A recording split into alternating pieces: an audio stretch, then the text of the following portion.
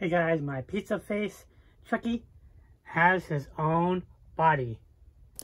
Thanks to Garrett Zima for giving me a body only without the head so I can put it on my pizza face head and have his own body.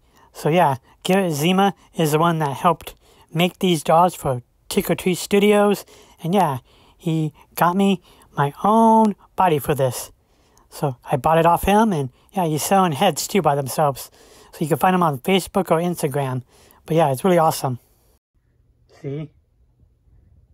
Here's the original, the original doll I got with his original head. But now the pizza face one doesn't have to share his body.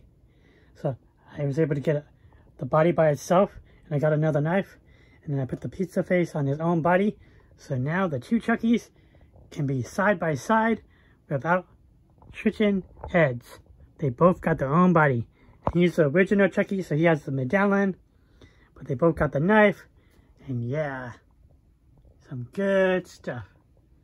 Just wanted to show this off and share that he has his own body now. Good stuff. So anyways, just want to do like a quick video showing off his own body. Anyways, this is it for now. Hope you guys enjoyed this video. Until next time, I will catch you all later. Bye-bye.